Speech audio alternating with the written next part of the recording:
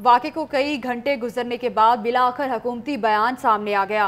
विफाकी वज़ीर इतलात के मुताबिक वाक़ से मुतलिक मुख्तलिफ़ रिपोर्ट्स हैं। फवाद चौधरी कहते हैं जल्द हक को सामने लाया जाएगा। सी टी डी का मौकफ ठीक ना हुआ तो उन्हें निशान इबरत बनाया जाएगा।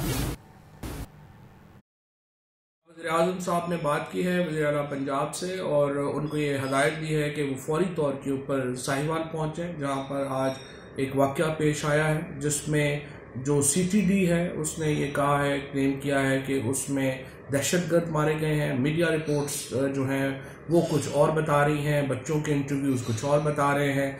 सो प्राइम मिनिस्टर साहब ने ये हदायत की है कि फौरी तौर के ऊपर हकायक जो हैं, वो सामने लाए जाएँ और उसके मुताबिक जो है, वो फिर इन कार्रवाई अमल में लाई जाएगी।